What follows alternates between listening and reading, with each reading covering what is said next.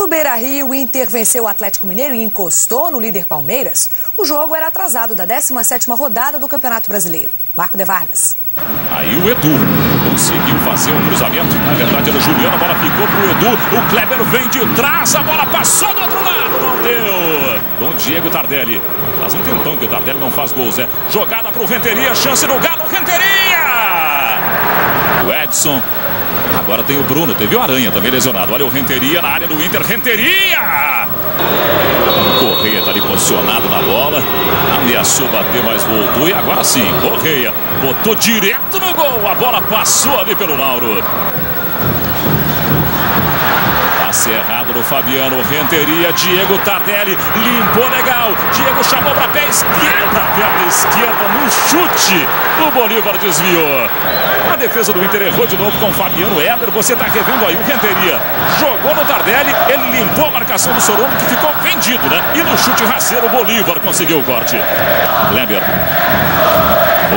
Com o Edu. Ele encara a marcação do Erley. Aí o Edu na área do Galo. O, Edu foi puxado fora da área. Na frente do árbitro Francisco Carlos Nascimento.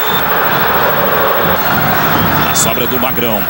Da Alessandro. É pro Kleber. Não há impedimento. Kleber chegou para fazer o cruzamento pro Edu.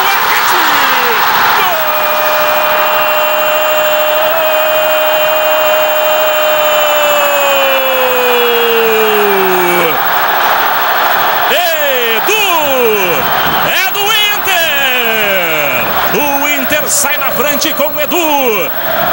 Internacional 1, Atlético Mineiro 0.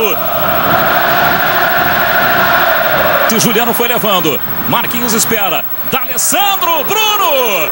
A bola volta para o Edu. Outro passe por cima. Passou no Marquinhos. Veio para o Kleber. Ele errou. D'Alessandro é. Gol!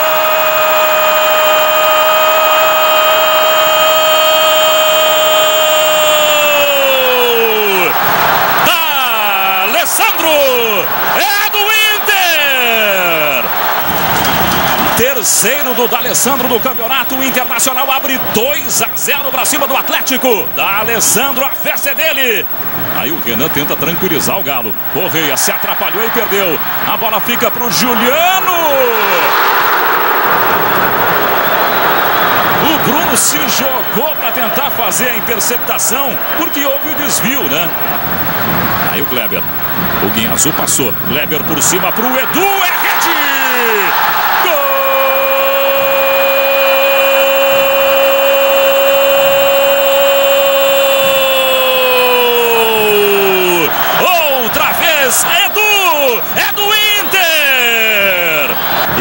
Internacional 3, Atlético 0. Magrão. Ele tentou Marquinhos nas costas do Erley. Chegada do Inter. Marquinhos, Bruno pegou. Primeiro tem um simbolismo, sim, ser campeão do primeiro turno.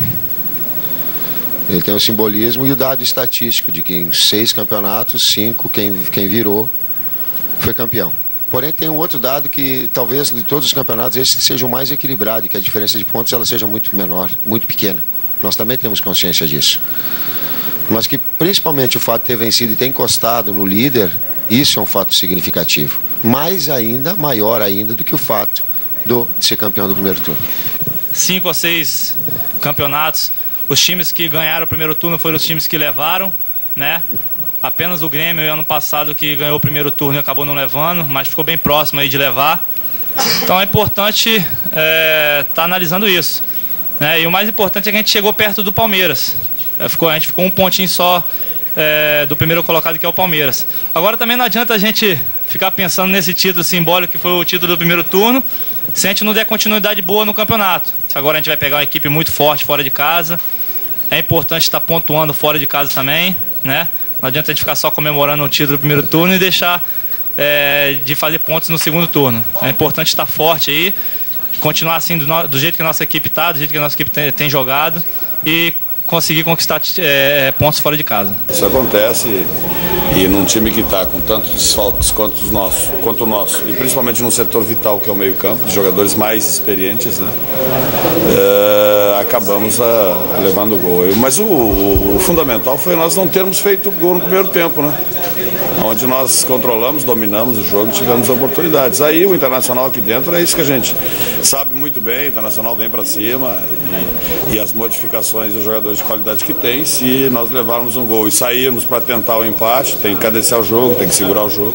Isso acaba acontecendo e acabou acontecendo de novo. Vamos ver então como está a classificação do campeonato.